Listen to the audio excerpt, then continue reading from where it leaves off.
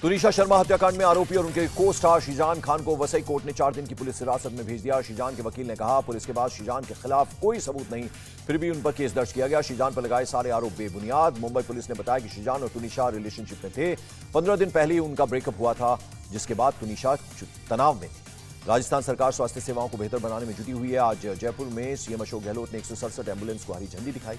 इस मौके पर सीएम अशोक गहलोत ने मीडिया से बातचीत में कहा, राजस्थान में स्वास्थ्य सेवाओं का लगातार विस्तार हो रहा है।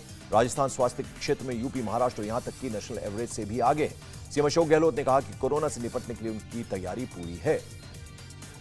वैश्विक स्तर पर कोरोना के बढ़ते संक्रमण पर सरकार की चेतावनी के बाद भी लोग लापरवाही बरत रहे हैं।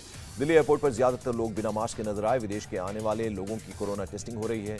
जेनस्ट्रिंग्स डायग्नोस्टिक सेंटर की फाउंडर गौरी अग्रवाल ने बताया कि एयरपोर्ट पर रोज़ाना करीब पच्चीस यात्री आते हैं, जिनमें से 500 लोगों की रैंडम टेस्टिंग की जा रही है। बिहार के बेतिया में ज़मीन विवाद को लेकर दो पक्षों के बीच गोलियाँ चली, जिसमें पाँच महिलाएँ जख्मी हो गई। चार महिलाओं की स्थिति अब ठीक है, जबकि एक की हालत नाजुक बनी हुई है। तस्वीरों में आप देख सकते हैं कि जब एक पक्ष ज़बरदस्ती ज़मीन जोतने जा रहा था तो दूसरे पक्ष की महिलाएँ विरोध करने में आगे थी।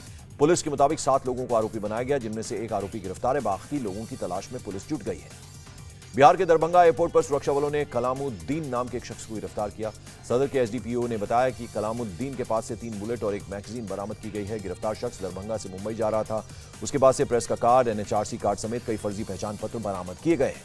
असम में अपराध के खिलाफ लगातार कार्रवाई जारी है। असम राइफल्स और असम पुलिस के जवानों ने संयुक्त अभियान चलाकर एक शख्स को गिरफ़्तार किया है। गिरफ़्तार शख्स का नाम लाल मिंथांग सनाटे है, जो हमारा पीपल्स कन्वेंशन डेमोक्रेसी संगठन से जुड़ा है। सुरक्षा बलों ने इसके पास से चार पिस्तौल और अड़तालीस ज़िंदा कारतूस बरामद किए हैं। इंडिया टीवी हर वक्त, हर जगह। डाउनलोड करने के लिए सर्च करें India TV news, Google Play Store या एप स्टोर पर।